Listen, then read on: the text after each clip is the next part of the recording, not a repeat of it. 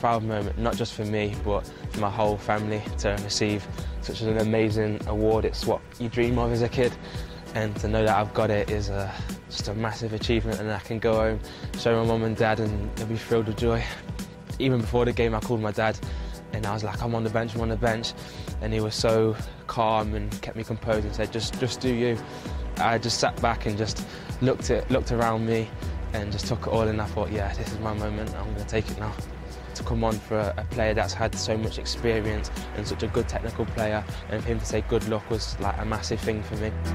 They've brought in some unbelievable players, the likes of João Moutinho, Raul Jimenez, and to play with them sort of players, it it sort of like boosts you as a player because you want to be like them, you want to perform like them, and you want to, if anything, be better than them, so it definitely gives you more confidence.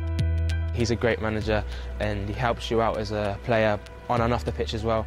So he gives you advice on how to how to get better as a player.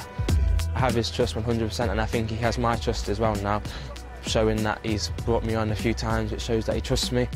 From playing school level to Premier League level, it just shows that anything can happen and if you put your put your mind to it and you believe in it and you really want it inside then it shows that anything can happen